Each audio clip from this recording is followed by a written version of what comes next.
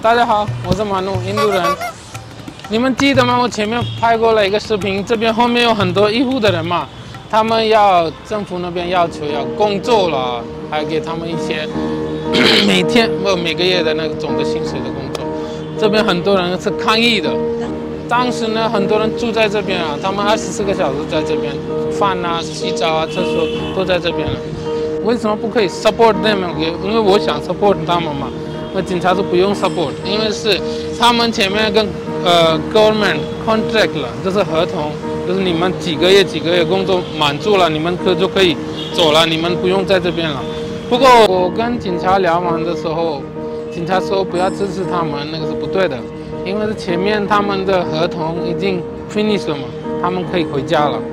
不过他们的要求就是我们一辈子都要政府那边工作的，政府说这样不对，因为我们这里呢，如果想要政府工作的话，先要考试，要很好的读出 degree 才可以去政府那边工作嘛。而我们这我们拉的三方里面，这种的医护的人有两万八千个，那个是 impossible 给没有考试直接给他们工作，因为有一些人是 not even 那个 level 嘛。